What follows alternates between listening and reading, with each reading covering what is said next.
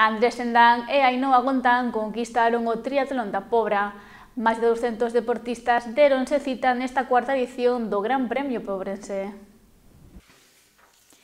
A natación, o ciclismo e a carreira volveron a facerse un oco na Pobra do Caramiñal logo do paso da pandemia.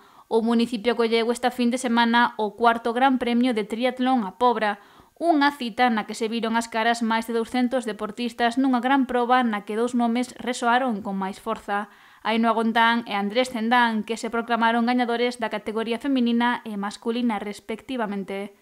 A proba comezou cos 750 metros de natación, os que lle seguiron os 21 km de ciclismo para rematar cos 5 km de carreira. Numerosos afeccionados viron como Ainhoa Gontán dominou a proba dende o seu comezo seguida a certa distancia por Ana Santiso. A carreira decidiuse sobre as dúas rodas onde as dúas triatletas se escaparon do resto e se mediron nun duelo que se levou Gontán que parou o crono nunha hora 9 minutos 33 segundos. Santiso foi segunda e Isabel Navarro terceira.